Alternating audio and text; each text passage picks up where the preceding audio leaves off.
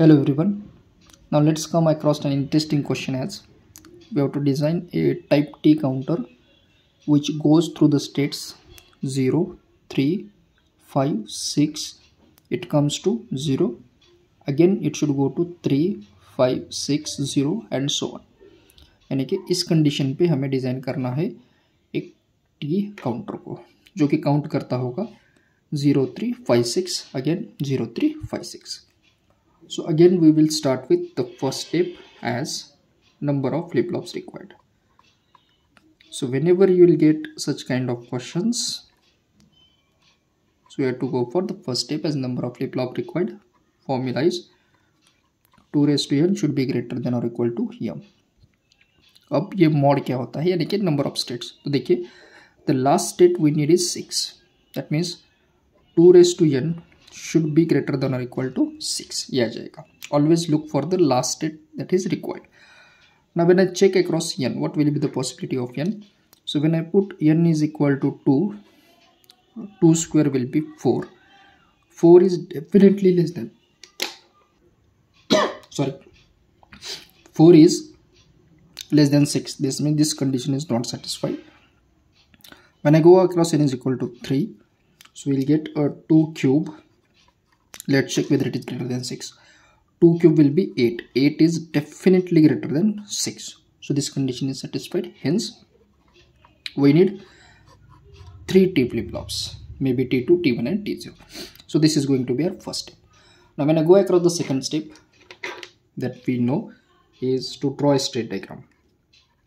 So let's draw a state diagram now in case of state diagram we have to start counting from 0 then 3 then 5 and 6 so let us draw the diagram. 0 then it should come to 3 from 3 the next state will be 5 from 5 the next state is 6 and from 6 the next state is 0 so it should count between the loop 0 3 5 and 6 so this is going to be our state diagram. And if I write this in terms of binary form so we need three flip-flops. So every state will have three states. So 0 ka jayega triple zero.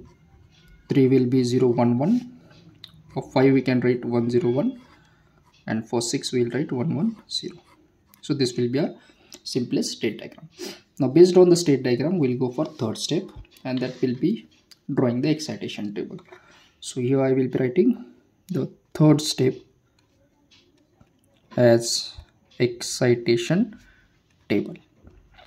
Now in case of excitation table first we'll write present state combinations.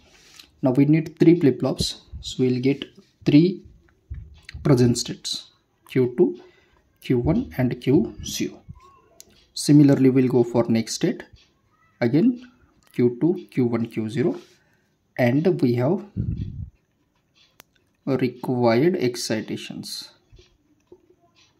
it will be t2 t1 and t0 because we need three flip-flops. And that will be t. So we are written t2 t1 and t0 now let's come across the present state. So as per the state diagram we have four present state 0 3 5 6 so we'll be writing first present state triple zero. Next we have 3 next we have 5 and then we have 6 as 1 1 0 so this is how we are written the present state अब हम चलते हैं next state combination के लिए. Okay so let's come across again the present state diagram zero का next state है zero one one so will write here zero one one zero one one का next state है one zero one one zero one one zero one का next state है one one zero one one zero and one one zero का next state है zero zero zero we have written the next state combination. Now based on the present state and next state we'll fetch the combination for required state required excitation. Now in case of this we need t flip-flop.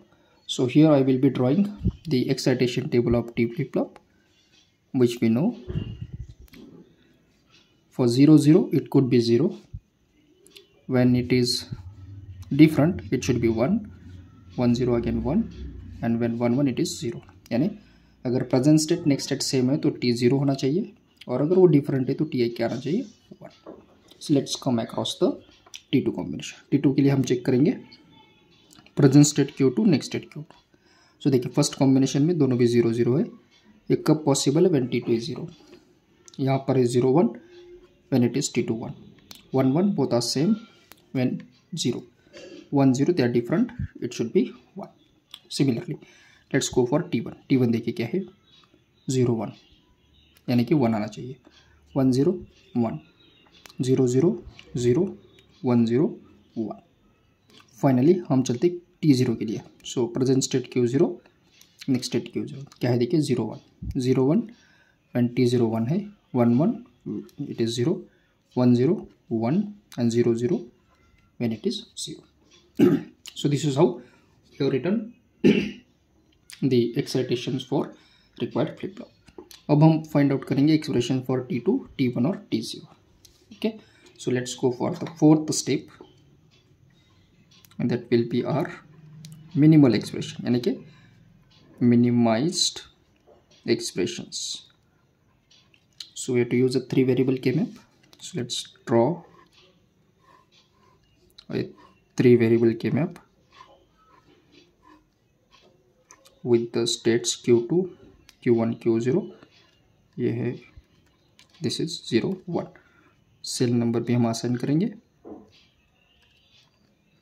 And this will write for T two okay अब हम देखते हैं T two one कब कब देखिए। T two one है zero one one यानी cell number three के अक्रॉस हम रखेंगे one then T two is one for this combination one one zero यानी सेल नंबर सिक्स के लिए वन ओके अब अगर हम इस के मैप की बात करते हैं तो we need eight combination starting from zero to seven लेकिन यहाँ पर चार कॉम्बिनेशन अवेलेबल है।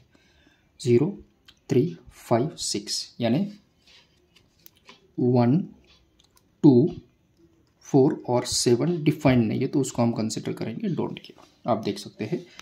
ज़ीरो थ्री फाइव सिक्स है तो मिसिंग टर्म कौन सा है? वन टू फोर और सेवन तो इसको क्या कंसिडर करना होता है? Don't care so let's mark them. 1 2 4 7 as dot now let's go for the mapping. So as far as the mapping is considered we have one here don't care one don't care. So these four cells are adjacent. So i can form a quad between these four terms. So we'll be getting t2 is equal to. Now for this side we have 0 and for this we have 1 0 plus 1 will be 1 तो यहाँ से आ गया one. From this side देखिए, ये 1 1 से हम ये one निकालेंगे।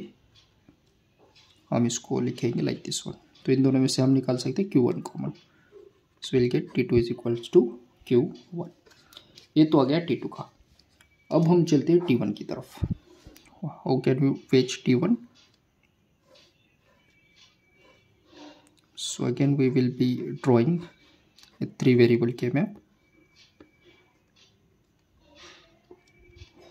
okay अब हम चलते टी वन के कॉलम की तरफ़। देखिए टी वन कब वन है एक तो ज़ीरो के लिए थ्री और सिक्स यानी कि ज़ीरो थ्री और सिक्स के लिए ये वन है। ना as usual one two four seven के लिए डोंट केयर है सो वन टू फोर और सेवन के लिए तो don't care so you mark this term now let's go for the mapping how can you map this terms देखिए as usual ये one don't care one don't care का हम ले सकते एक क्वेड एक तो आ गया एक क्वेड तो हम यहाँ पर लिखेंगे T one is equal to अब इस स्क्वाड के लिए अगर हम देखते तो यहाँ से ज़ीरो प्लस वन तो वन आ जाएगा.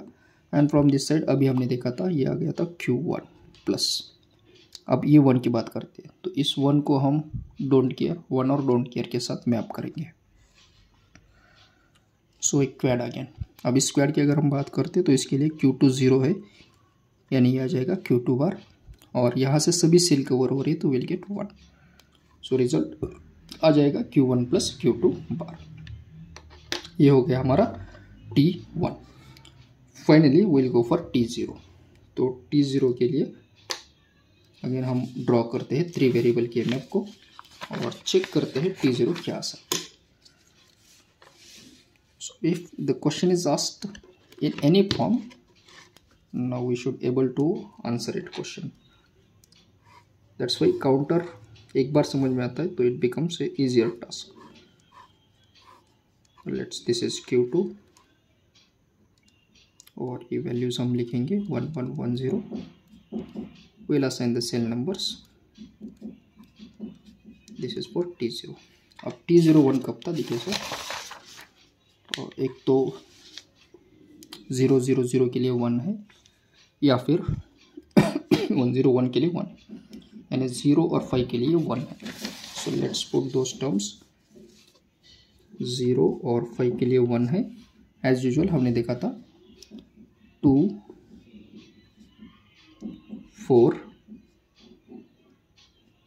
ये वन टू फोर सेवन के लिए डोंट केयर है तो ये ऊपर लिखेंगे।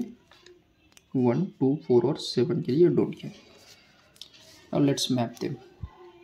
Now when i look at this, we are having one here, don't care, one don't तो इन चारों का हम फॉर्म करते quad will get T zero is equal to देखिए यहाँ से ये ज़ीरो है, यहाँ से वन ज़ीरो प्लस वन तो आ गया वन अब अगर इस साइड पे जाते हैं तो ये ज़ीरो ज़ीरो ये ज़ीरो वन यहाँ से हम इस ज़ीरो को कॉमन निकालेंगे।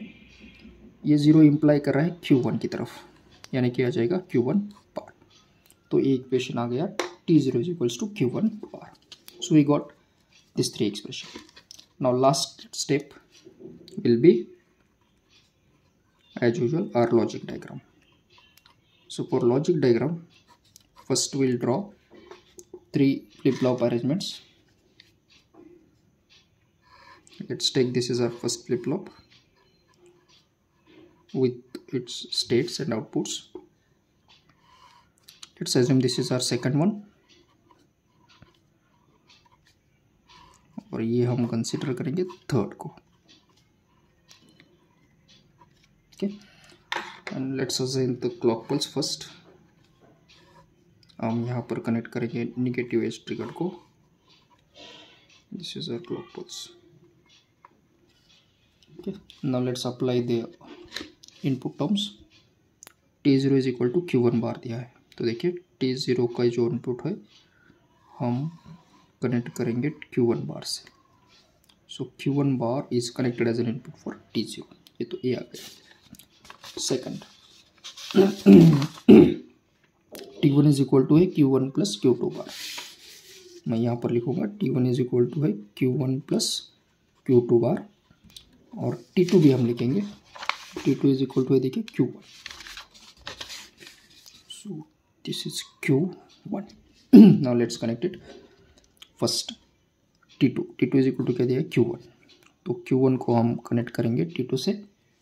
और जो टी वन हुआ है, देखिए Q one plus Q two bar दिया है। तो हम यहाँ पर एक और गेट लेते हैं। और इसका एक इनपुट हम लेते हैं क्यू वन से। So from this side will connect this is from Q one और दूसरा इनपुट हम कनेक्ट करेंगे क्यू टू बार से। तो ये सेकंड इनपुट हमने कनेक्ट किया है क्यू टू बार से।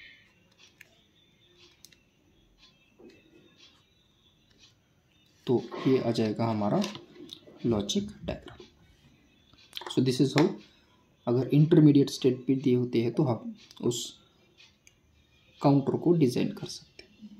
I hope you are getting this point thank you